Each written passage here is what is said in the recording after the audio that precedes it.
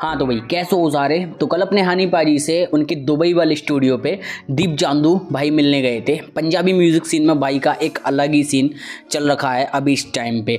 तो भाई ने पोस्ट शेयर करी थी हनी पाजी के साथ में आ गया नहीं ओ ही बिल्लो टाइम और नीचे लिखा था hashtag respect hashtag legendary तो भाई को भी पता है, अपने हनी पाजी एक लेजेंडरी आर्टिस्ट हैं और प्रॉपर रिस्पेक्ट देते हैं दीप चांदू अपने हनी पाजी को। तो जैसे ही ये पोस्ट ड्रॉप होती है ना भाई, इसके बाद से हर एक फ़ैन यही समझ रहा था इंक्लूडिंग मे कि कोलेब्रेशन हो चुका है, जो कि अपन को इंटरनेशनल ब्लिजिट टू एल्बम में देखने को मिलेगा। बट नहीं भाई, ऐसा सीन नहीं है। मैंने आरडीएम पाजी से कन्फर्म करा तो पाजी ने बताया, ये जस्ट एक मीटिंग थी, है ना? ये दोनों मिले थे। और एज अ फ़ैन जो है, दीप चांदू अपने हनी पाजी से मिलने गए थे। इनका कोई कोलेब्रेशन नहीं हुआ है। तो ये थोड़ी बैड न्यूज़ है, लेकिन इन फ्यूचर अपन को ज़रूर कुछ ना कुछ देखने को मिल सकता है। हो सकता है ये लोग अब आगे प्लान कर लें, जो कि अपन को देखने को मिल जाए। लेकिन अभी तो भाई नहीं हुआ है। इसके अलावा अपने हनी पाजी एक और स्टोरी लगाते हैं। देख सकते हो, उनके कुछ फ्रेंड्स हैं दुबई वाले, जिनके साथ में उन्होंने ईद सेलिब्रेट करी थी। देन वो एक और स्टोरी लगाते हैं done with Eid celebration getting ready for glory completion session मतलब कि ग्लोरी का कंप्लीट सेशन हो रहा है और ग्लोरी अपन को जल्दी से देखने को मिलने वाली है। आगे बातचीत करते हैं। राखी एक एक गिरफ़्तार, भाई का एक पॉडकास्ट आया है रियलिटी की साइड से। देखो भाई ने कोलेब्रेशन के बारे में क्या बातचीत करी है हनी पाजी के साथ। हमने भी किया। मैं भी एक तरीके से इंडिपेंडेंट ही था। मेरे पास कौन सा लेवल था?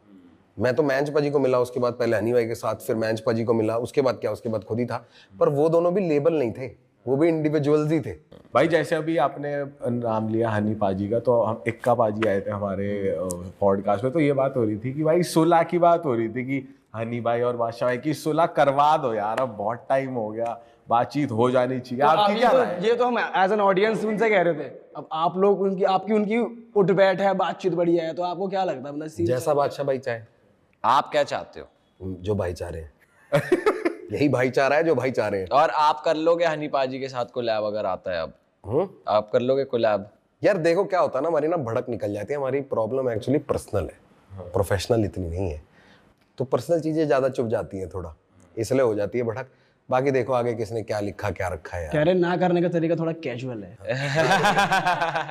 बट भाई अपना फिर ये भी जोन है कि चलो भूल भी जाते हैं या कुछ चीज़ें नहीं भी भूलते पर कुछ चीज़ें फिर अगर बात हो उस तरीके से। भाई हमको चाहिए होता है उसे कहते हैं क्लोजर कहते हैं ना क्लोजर चाहिए होता हाँ। कि एक्नॉलेज कर दो बस। इस चीज़ का वैसे मुश्किल है क्लोजर सब दब जाएगा नहीं मुश्किल नहीं है। मुश्किल नहीं है। बिल्कुल भी नहीं है। इम्पॉसिबल नहीं है भाई नहीं क्यों इम्पॉसिबल क्यों होगा यार? तो आपका क्या ओपिनियन है भाई? कमेंट्स में दो बाकी लाइक शेयर कर दो वीडियो को अगर यहाँ तक आ गए हो और सब्सक्राइब भी कर सकते हो चैनल को। बाय